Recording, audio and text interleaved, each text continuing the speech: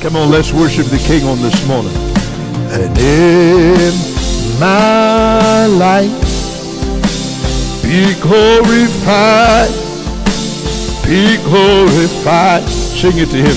In my life and in my life, be glorified, be glorified. You get the glory, you get the glory. Come on, put your hands together with me on this morning and help me worship the King. Lord, you take the honor. And I just want to say thank you. You get the glory. You get the glory. You get the praise. Lord, you take the honor. And I just want to say thank you. You get the glory. You get the glory. You get the praise.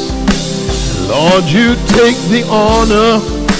And I just want to say thank you in my life and in my life. Be glorified, be glorified. In my life, Lord, in my life. Be glorified, be glorified.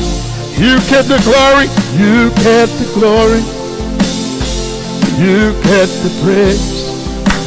Lord, you take the honor, and I just want to say thank you. You get the glory, you get the glory, you get the praise.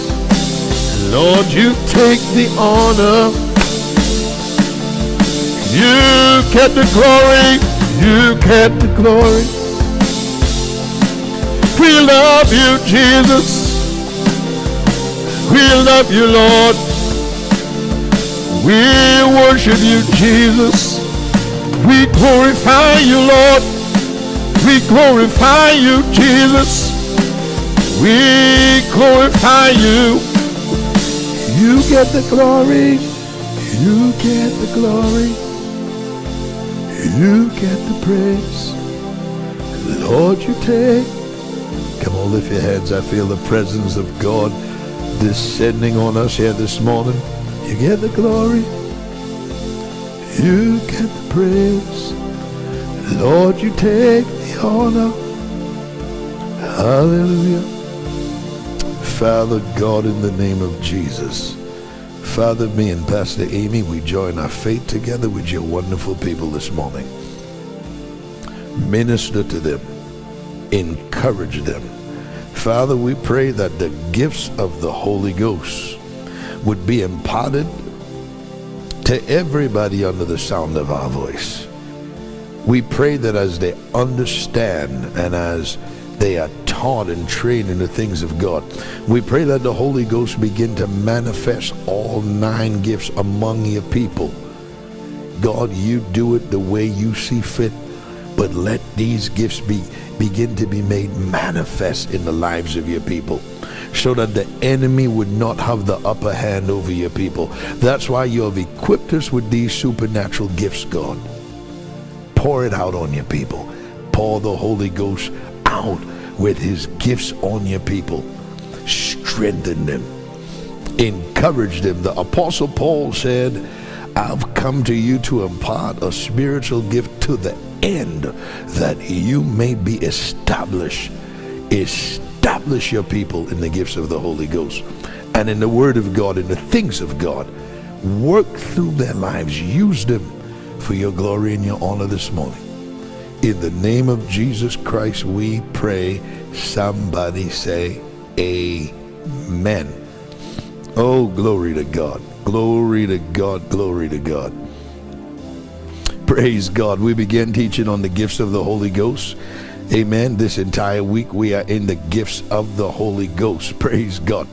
We began to explain the different categories and then we went into the word of wisdom, which falls under the category of the revelation gifts. And then we went into the word of knowledge.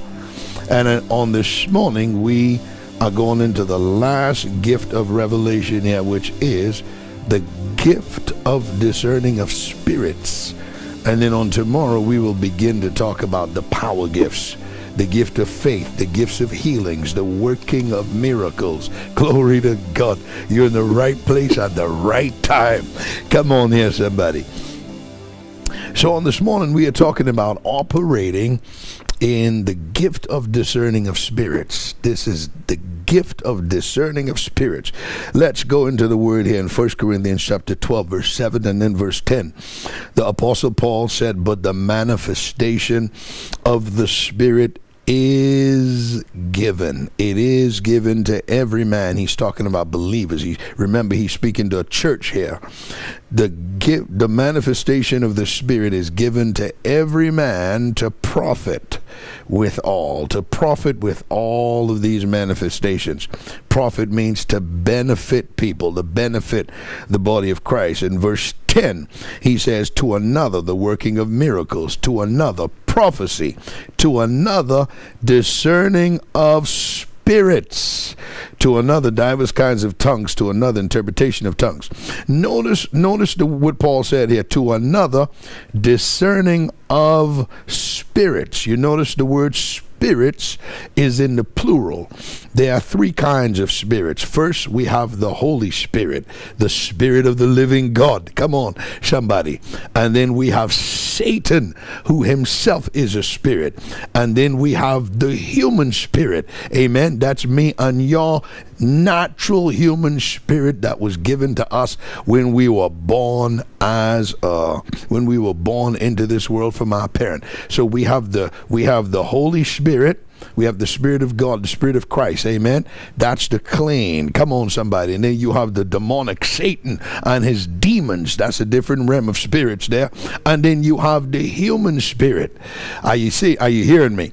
So the Apostle Paul, he put the he put the gift of discern, he put discerning of spirits, and he used the word spirits, plural, which means the gift of discerning of spirits is limited to the spirit realm. When I say to the spirit realm, the, the gift of discerning of spirits enables us as children of God to discern the power of God, the Holy Ghost, the presence of God. Listen to me good. When you feel and sense the presence of God in the atmosphere, when you sense miracles are beginning to take place, you, when you sense or you can feel in your spirit man that there is a atmosphere of faith. That is the gift of discerning of spirits being made manifest. If you can feel the presence of God in the room, if you can discern the presence of God in a room, come on here, somebody, that's actually a manifestation of the gifts of the Holy Ghost. Without the Holy Ghost, you would not be able to tell the difference. Come on, somebody. So the mere fact you can discern and feel the presence of God, that's a manifestation of the gift of discerning of spirits because you can discern the presence of God, you can discern the presence of Satan, and you can discern the presence of the human spirit. And under the presence of God, of course, God have his angelic hosts, amen, who serve and work for God, who are here to minister to the children of God. The Bible says, Are they not all ministering spirits sent forth to minister for those who are heirs of salvation. The, the, spirits he's talking about is the angels of God, amen, who stand God to protect us. They minister to us, they minister for us. Are you listening to me? They came and brought Elijah food when Jesus was tempted by Satan, the Bible says the angels came and ministered to him. Are you hearing me? And it takes the operation of the gift of discerning of spirits for you to even see angels. Everybody doesn't see angels, but we know this is biblical. Daniel saw angels, Jesus saw angels, the apostle Peter saw angels, Abraham saw angels, Elijah and Elisha saw angels, Joshua saw angels, Moses saw angels. The list goes on and on and on angels are still being manifested in our day and time. And when that happens, it's a gift. It's a gift of the manifestation of discerning of spirits. The gift of discerning of spirits also allows us to see into the spirit realm. The gift of discerning of spirits allows us to see into the spirit realm and be able to distinguish or discern the difference whether it's God operating, Satan operating, or it's just a human spirit. Are you listening to me? Now, watch this the gifts of discerning of spirits. Let me give you a little description.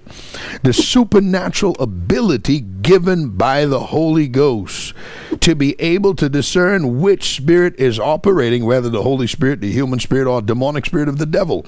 This gift distinguishes which spirit is in operation. Are you hearing me?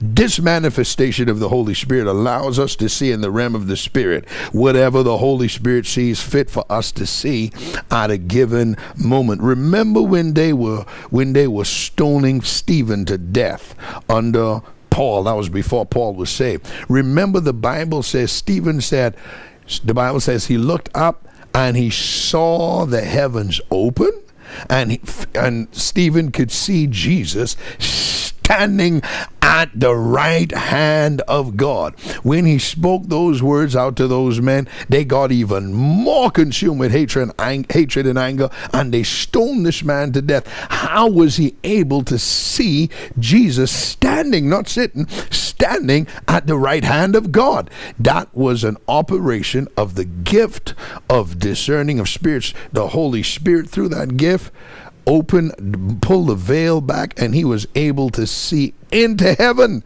And he saw Jesus standing at the right hand of God.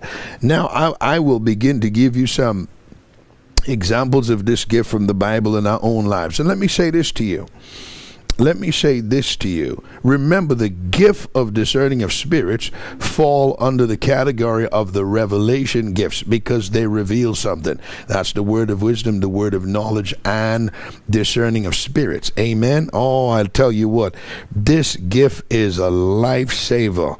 Listen to me good. I want to take you into the Bible. I, I, want you to see this gift in operation in the New Testament here. In Luke chapter 6, beginning at verses 7 through 11. The Bible says, And the scribes and Pharisees watched him whether he would heal on the Sabbath day that they might find an accusation against him. Watch this. The Bible says, But he knew their thoughts and said to the man which had the withered hand, Rise up and stand forth in the midst. And he arose and stood forth. Then said Jesus unto them, I will ask you one thing. Is it lawful on the Sabbath days to do good or to do evil, to save life or to destroy it? And looking round about upon them all, he said unto them, Stretch forth your hand. And he did so, and his hand was restored whole as the other. And they were all filled with madness and commune one with another what they might do to him and how they might kill him. Come on, somebody. But you see, Jesus knew their thoughts. He saw into their minds. He saw into their spirits. He saw into their hearts. How was he able to know their thoughts? How was he able to see the wickedness that they were planning to do to him? It was the gift of discerning of spirits. He could see exactly into their hearts what they wanted to do to him. He knew they were evil, but it was this gift of discerning of spirits that, that he was able to discern their thoughts. I, and notice what I said now. This is called the gift of discerning of spirits. You can get natural discernment. The Bible talks about it in Hebrews 5. You can get natural discernment just from having from being strong in your knowledge in the Word of God. From a strong knowledge of the Word of God, you can just be good at you can just be good at what you call discernment. But that's not what I'm talking about. I'm talking about the manifestation of the gift of discerning of spirits when supernaturally by the Holy Ghost you know the evil that's that's people are thinking inside their hearts and spirit towards you. Are you listening to me? And this is not the gift of being judgmental. Being critical and judgmental is not the operation of the of the gift of discerning of spirits. This is a manifestation. This is supernatural when it happens. Are you listening to me? Watch this. I'll give you another example of this here. Let's go into the book of Mark chapter 2 verses 8 through 12, the Bible says, And immediately, watch these words now, when Jesus perceived in his spirit that they so reasoned within themselves, he said unto them, Why are you reasoning these things in your heart? This was when the, those men ripped the roof open and they brought, hung the paralyzed man down through the roof on four ropes laying on a cot. And Jesus realized that the Pharisees, they were questioning him. They were thinking evil towards him. And another another another place in the gospel of the Bible says Jesus said, Why do you think evil in your hearts? That was the gift of discerning of spirits being made manifest through his life. The Holy Ghost wanted Jesus to know these Pharisees I had to oppose you. Come on, somebody, don't trust them.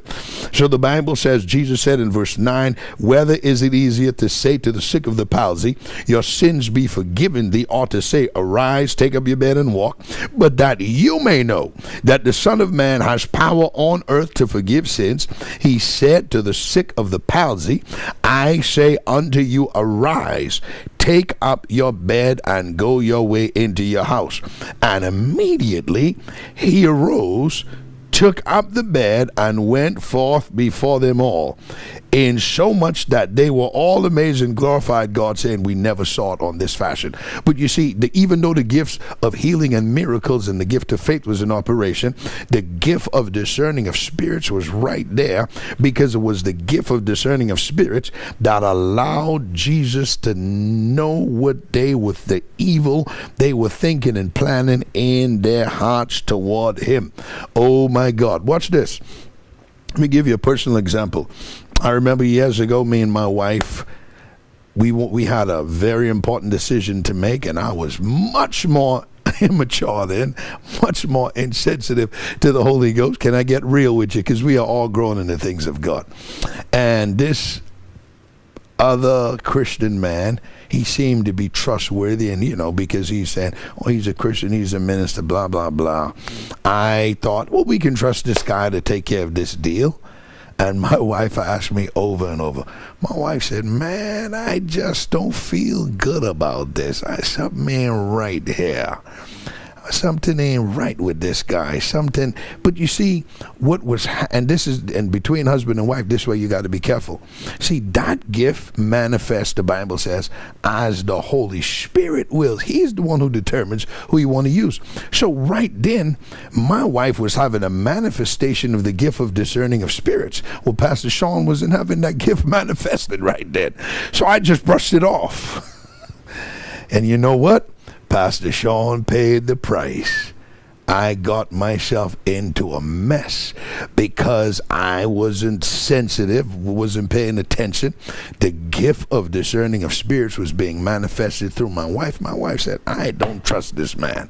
And I just forged ahead. You know, sometimes as men, we stubborn. When we, we got our minds make up, that's, it, you know, sometimes our made up minds is our worst trouble. Amen? What we want done. And I went on ahead and I paid the price for it. But I've learned my lesson. and I'm still learning. Come on, talk to me. Yeah, somebody. So how what would make my wife said, I don't trust this guy. We didn't know this man from Adam. We, we just we didn't know him. Uh, from the all outward appearance, he looked very trustworthy. But the Holy Ghost knew him and the Holy Ghost started checking my wife, set me right with it. That was the gift of discerning the spirits. I brushed it off and I paid the price for it. I've learned to listen since then. I've improved. and you are improving as well. And, and let, let, me give you another example of this gift of discerning of spirits, being able to, to see into the realm of the spirit, supernatural things. And this, the, it's the manifestation of the gift of discerning of spirits that allows people to have visions and dreams and see things. Now, now let me say something here. Every dream you have ain't from God. Don't even play with me this morning. Every dream ain't from God because you got demonic stuff going on trying to counterfeit the gifts of the Holy Ghost. This is why we got to have the Holy Ghost and know our Bibles. Because if you are not rooted and grounded in the Word of God, every dream is not from God. And I, I have trouble with people They they have dreams about everything other than Jesus and other than the Bible. Come on, somebody. Come on, somebody. With these things have to be tested by the word of God. But there is a genuine gift of discerning of spirits where people have visions and dreams. That's from God. I remember visiting a church here in McKinney, Texas, a couple, several years ago, four or five years ago, and sitting in that service, I was on the platform with the, with the other ministers, and sitting on the platform, the service is going on, and all of a sudden, all of a sudden, my eyes are wide open. All of a sudden, I'm in the spirit, man. The Holy Ghost is showing me a vision. All of a sudden, I see myself with the microphone pointed to a Caucasian. And keep in mind, now, this was a predominantly African American church. You understand where I'm coming from? It was mostly black people in there. Amen. The only white person in there was the pastor's daughter in law. I didn't know anyone else in there was white. But in this vision, I saw myself look all the way to the back of the church on my left. There was a Caucasian man there. And I said, Sir, come up here. The Holy Ghost showed me you have a problem in your back, and the Holy Ghost is going to heal you right now. I prayed for the man in this open vision I had, and he was healed instantly. And I snapped out of the vision. And when I look at the back of the church, on the left side, sure enough, there was this Caucasian man sitting there. And I said to God, I said, if you want me to pray for this man, have the pastor call me up. I'm not asking to pray for no one. Move on this pastor to come in, to ask me up and give me the microphone and say, Pastor, go minister to some people. And sure enough, within a matter of two to three minutes, the pastor of that congregation, he looked at me and he said, Pastor Sean, come take this microphone and do as the Lord leads you. Pray for the people. Oh my God. It's, it's, it's, it's, it's mind blowing how quick God can work. Sure enough, I did exactly what the Holy Ghost showed me because that's called the gift of discerning of spirits. The Holy Ghost allowed me to see that vision, shown me exactly what to do. Remember, Jesus made the statement and said, As I see what my Father does, I go and do the same. That's what he was talking about. It's the gift of discerning of spirits where the Holy Ghost would show Jesus supernaturally what needs to, needed to be done. Sure enough, I called that man up, told him exactly what I saw in the vision. It, the Holy Ghost is 100% accurate. He said everything you say is absolutely true. Laid hands on him. He was healed in his back instantly by the power of God. He had problems for years in his back, but instantly by the power of God, he was healed. Now, remember, I said when these gifts manifest, they come in clusters. But what I wanted you to see was it was the gift of discerning of spirits that opened up, that allowed me to see that that man had a problem in his back and God was going to heal him. Are you following me? Of course, the gifts of healing manifested, we laid hands on him and God healed him instantly. The gifts of healing manifested right there along with the gift of discerning of spirits. But it was the gift of discerning of spirits that allowed me to see and know exactly what I needed to do. It's amazing how it happens. These things happen by the Spirit of God. They happen as God wills them to happen. Let me give you a few more examples of this gift here. Watch this now. Remember Ananias and Sapphira, the husband and wife who came and lied to Peter that, oh, yeah, we sold the land for such and such, and they just wanted to be seen.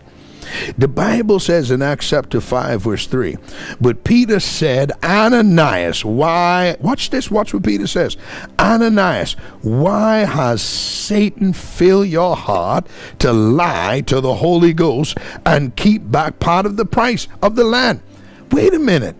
Peter saw, Peter saw that. Notice what Peter said. Why have Satan filled your heart to lie to the Holy Ghost? How can Peter see that the devil have filled this, this man's heart to lie? That was called the gift of discerning of spirits. Peter discerned it was Satan's spirit operating through Ananias that filled him to lie. He just he didn't have a reason to lie. All he had to say was, "Hey, we sold the land for this, but this is what we want to give to the church." But he lied. He came and said, "We sold for this and we want to give." But he was just lying. Man, don't play with God. But it was the gift of discerning of spirits that allowed the apostle Peter to see that Ananias had lied. I remember we were in a meeting. I was with the woman of God who had mentor, who was mentoring me at that time, and the people were giving money in the offering. And all of a sudden, she stopped the entire offering. She said, Stop, bring that offering bucket here.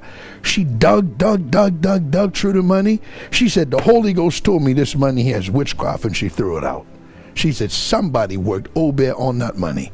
And, and took it out to offer. I, will never, I, I thought to myself, how in the world did you know that?